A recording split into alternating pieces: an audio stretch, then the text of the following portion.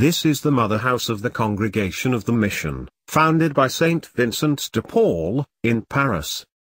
Under the altar of Saint John Gabriel Perboyre, entombed in a reliquary lies the holy bones of the first saint of China. Today, the 11th of September, the church celebrates the feast of Saint John Gabriel Perboyre. Welcome to the Saint of the Day.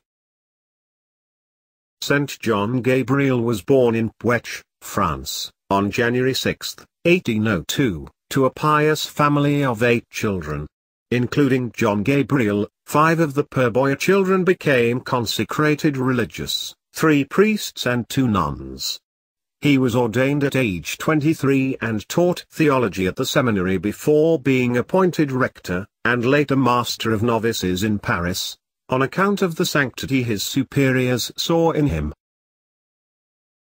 Louis, his younger brother, died on his way to preach in China at the age of 24 and John Gabriel was asked to continue the mission that had been given to his brother.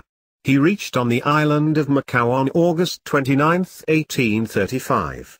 After getting acclimatized in Macau, John Gabriel began the long trip in a Chinese junk ship, on foot, and on horseback, which brought him after eight months to Nanyang in Henan, where the obligation to learn the language imposed itself.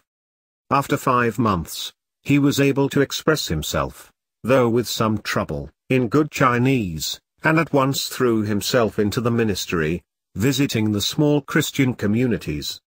Then he was transferred to Hubei, which is part of the region of lakes formed by the Yangtze-Kiang, Blue River.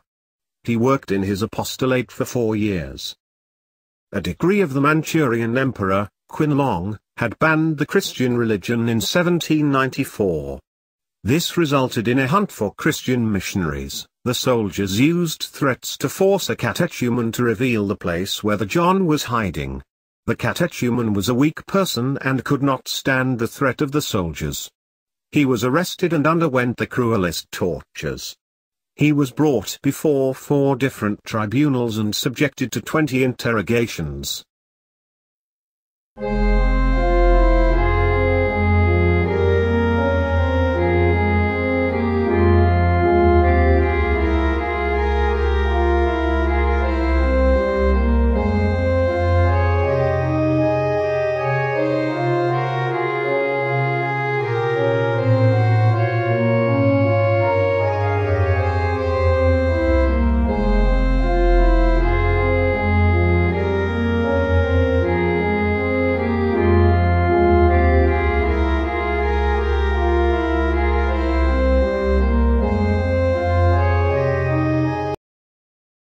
This prayer had its consummation on the 11th of September 1840, the imperial order came decreeing his death by strangulation. With seven criminals the missionary was led up a height called the Red Mountain. As the criminals were killed first, Perboyre reflected in prayer, to the wonderment of the bystanders. When his turn came, the executioners stripped him of the purple tunic and tied him to a post in the form of a cross. They passed a rope around his neck and strangled him. His body was brought back to France, but his heart remained in his adopted homeland, the land of China.